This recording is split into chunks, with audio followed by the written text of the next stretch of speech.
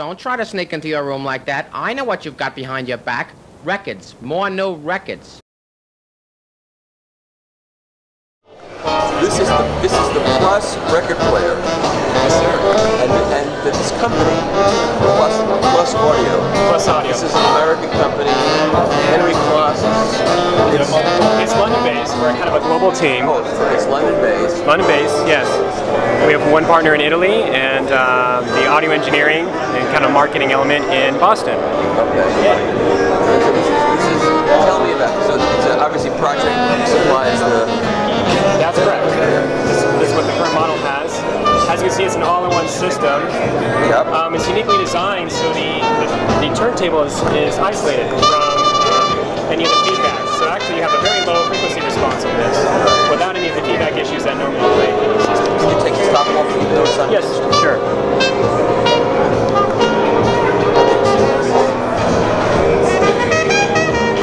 I want to find red with it, which is nice. That's correct.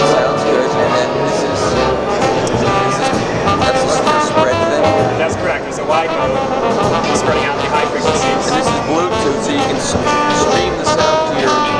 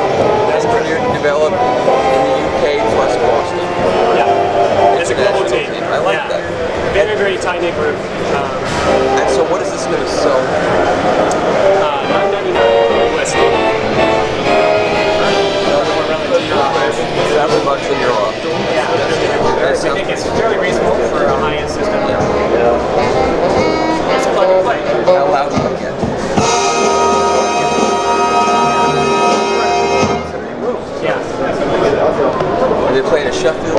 a Sheffield? So they're, they maybe let's let's get that refro. Yeah. And we play maybe it's about 10 dB. So is, sounds like it.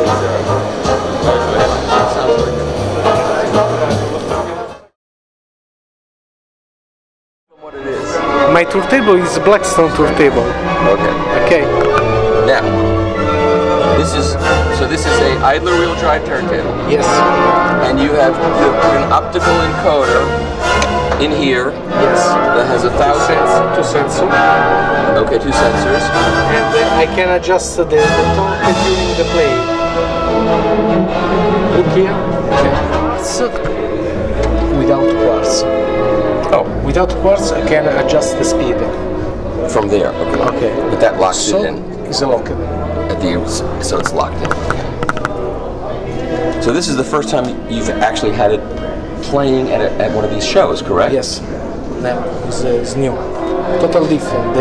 It's very complicated to produce uh, because uh, I have produced the quartz. Uh, the technology is very difficult because uh, um, the motor every rotation uh, must control from 1000 the speed and the torque.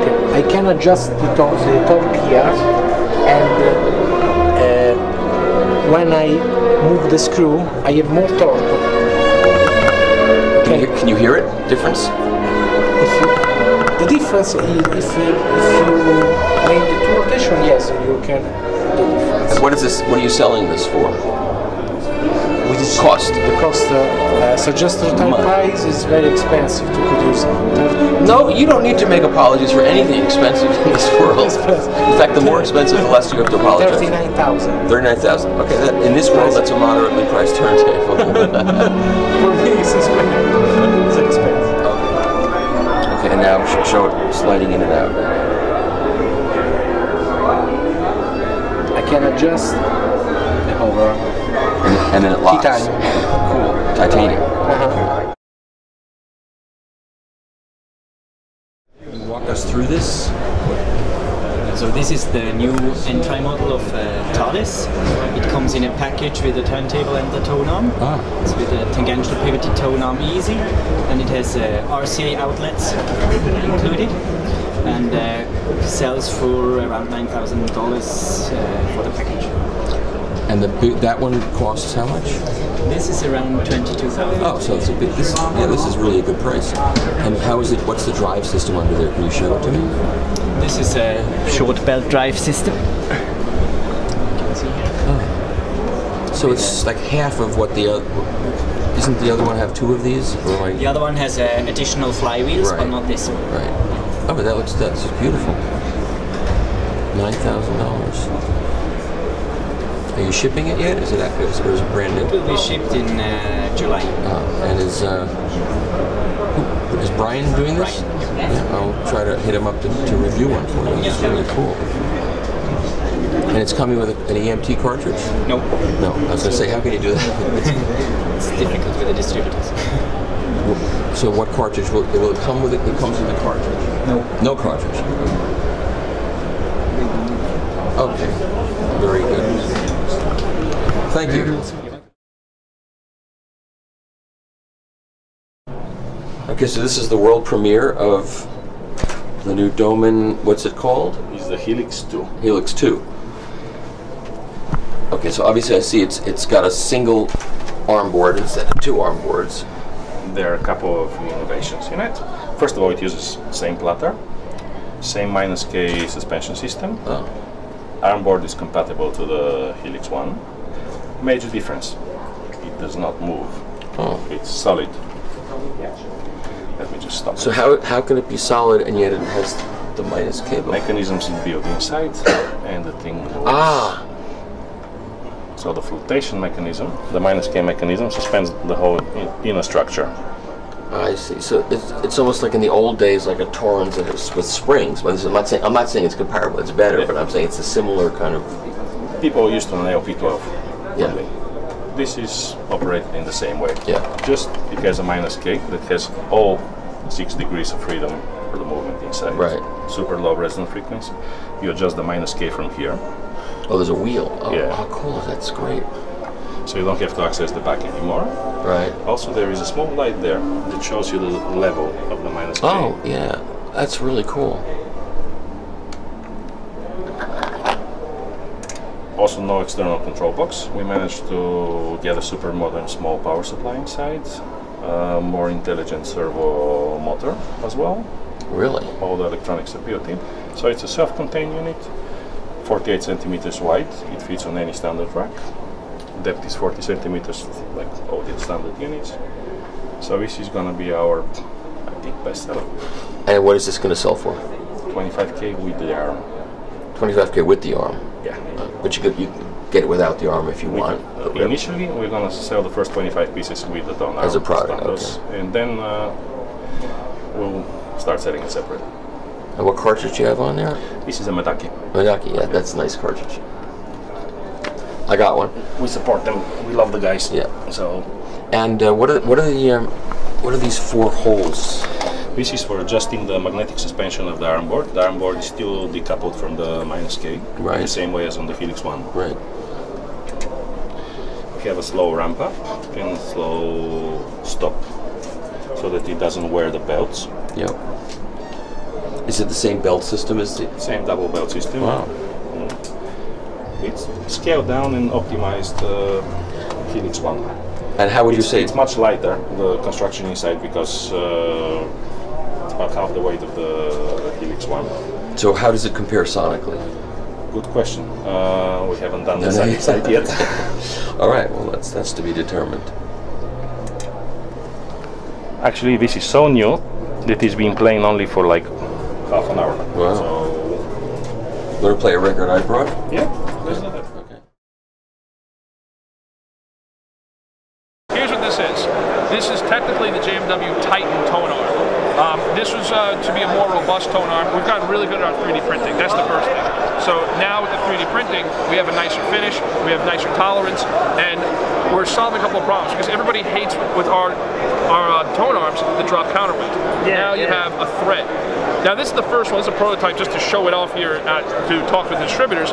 Has the dual pivot on there automatically. So this accessory, which mounts right onto the side, So no more drilling through the turntable. Good idea. And then it comes it's standard with the plate, so it can glide right across it. So by having this metal back, thi- this material, or it was, it was too heavy. When we did it all 3D printed, and all the magic of the 3D is in the arm wand right there. So with the 3D, before we had to have two counterweights on there because it was way too heavy. So by having the metal over here and then having the threaded so it's easier to mount, now the weight's right, it works all around, and it's uh, it's just a better sound. And uh, we, we messed around with it uh, in uh, Chicago, and we were just blown away with the difference. Uh, the first day we listened with the Lyra Delos using a JMW reference tone arm, and the second day we used this one, and it was just such, such a sweet sound. It had a, a much wider sound stage, had uh, a very like a musical sound to it. The voices sound a little bit more natural. And, uh, and. Bye. Hey, you want a soda? I got diet in case you're watching your girlish figure.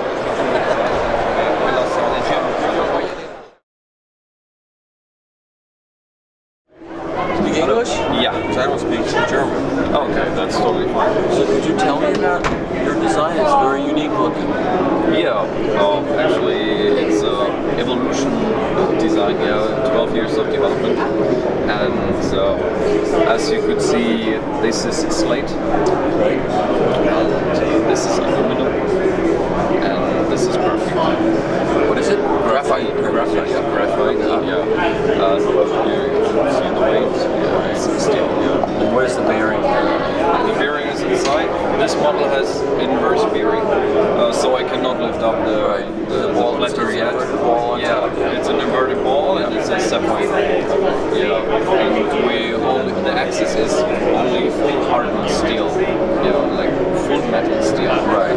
I don't know if it is the right word. in Yeah, that's good enough. Yeah. Yeah, uh, the arm is made of titan, Titanium? titanium. Yes, that's titanium tone arm, and uh, the inner cable is uh, silver coated, Teflon coated, uh, silver coated. Okay. And, and what is the spring? Is that The spring is the spring is made for the anti-skating. This is our anti-skating solution.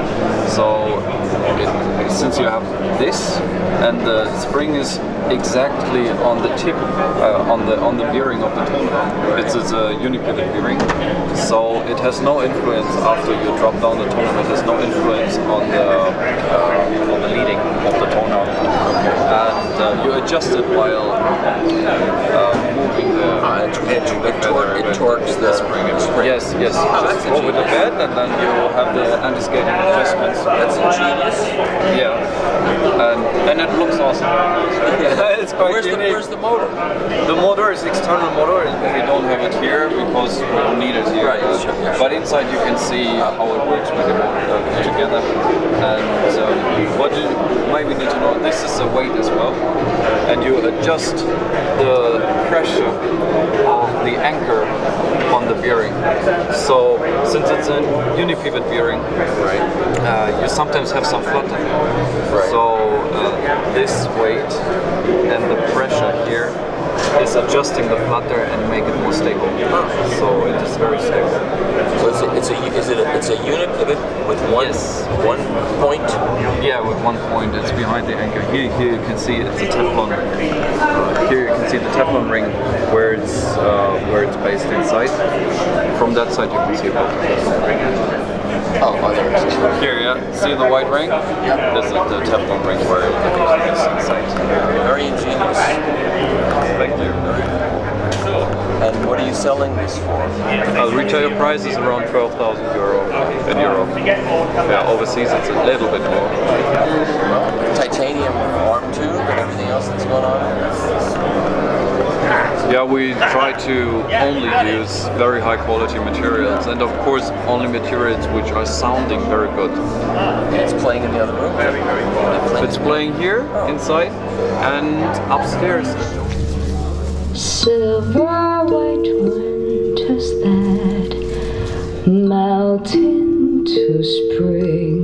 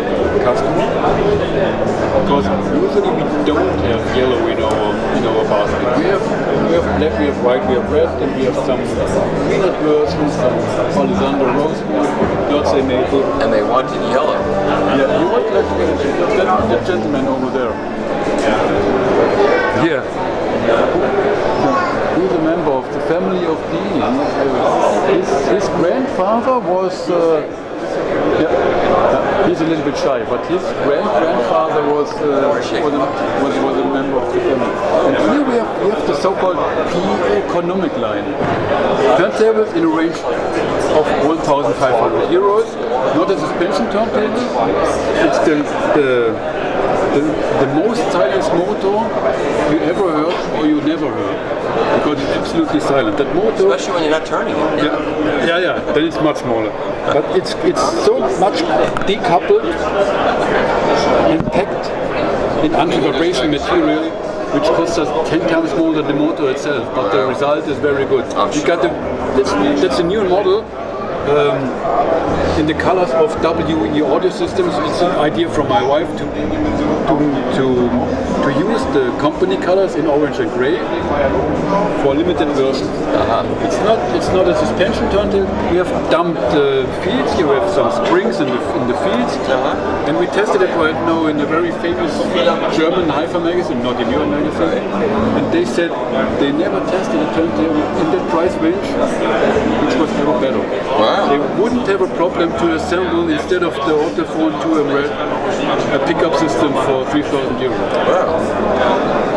Yeah, that's just getting started with the red, but that's, that's great. We are starting right now in June with the production, and it would be great to send you some samples to test it. Okay, these are American imported now? We're starting right now with selling in, in, in Canada and in the US, and as soon as this, everything is settled and finished, Yes. then of course you will be the first to test it in America. Because you are the ear for North America. Everybody is listening, what is Mike Fremer saying? That's frightening. He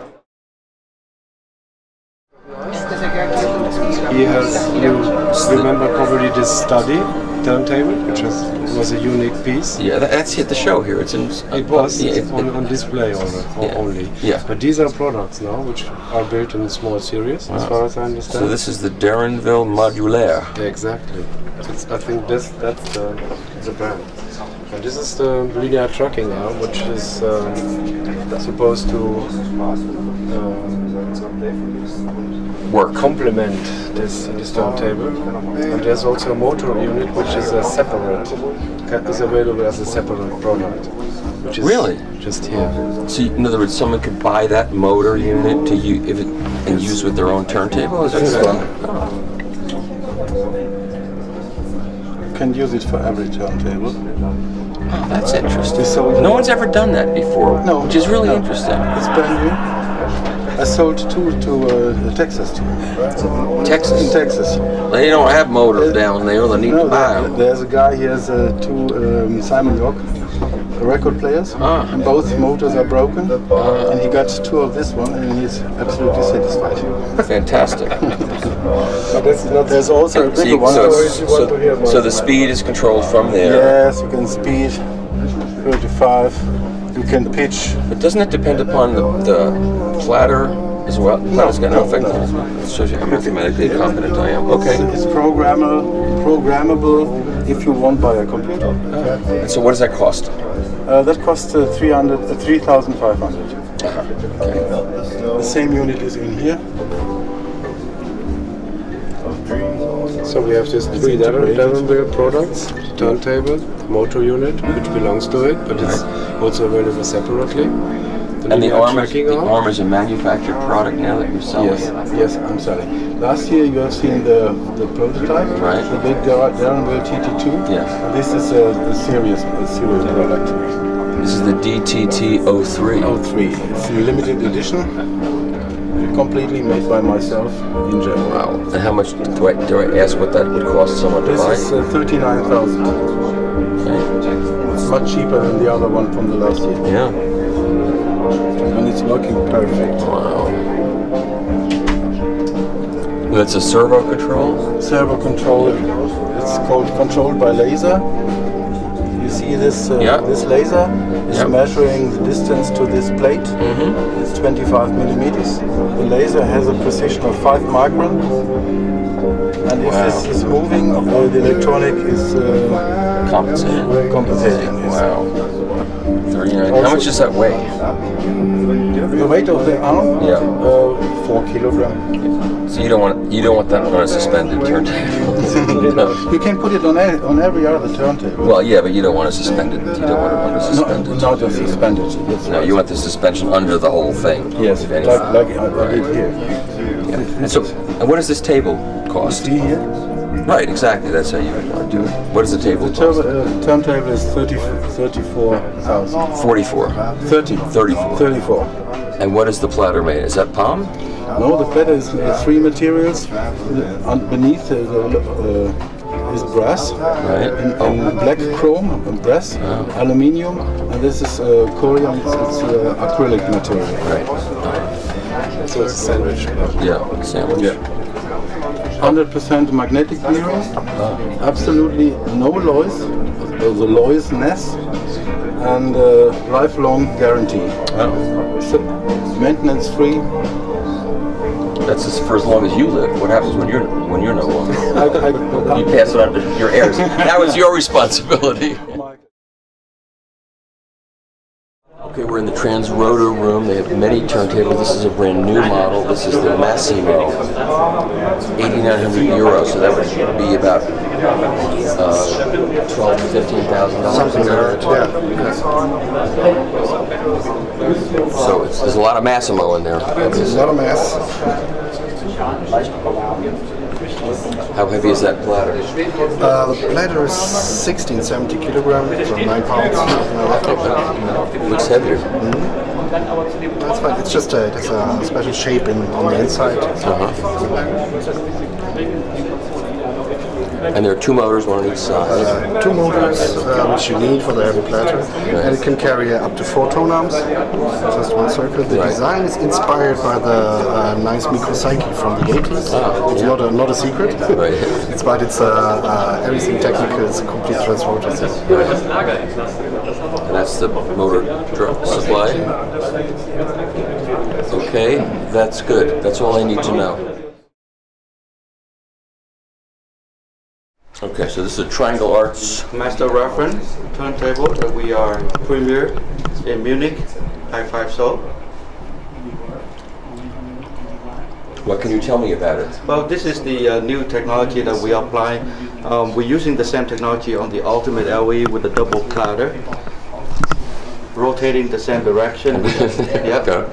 And um, we're using the uh, hydraulic stainless steel dry bearing. Hydraulic stainless, what does that mean exactly? It's a stainless steel uh, bearing. Okay. Yep. Ball bearing? Uh, I mean, a- spindle and ball? Yeah, it's a ball bearing spindle. How heavy is that, is that double platter? Um, the total of the turntable about 200 pound. The platter itself is uh, is about 70 pound. Okay.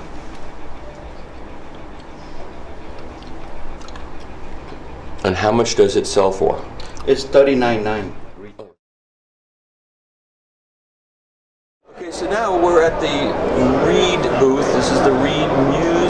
Muse 1C.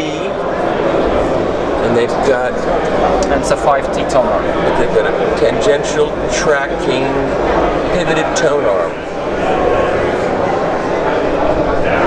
And then you're using a laser, a laser over there to guide the movement of the arm as it goes.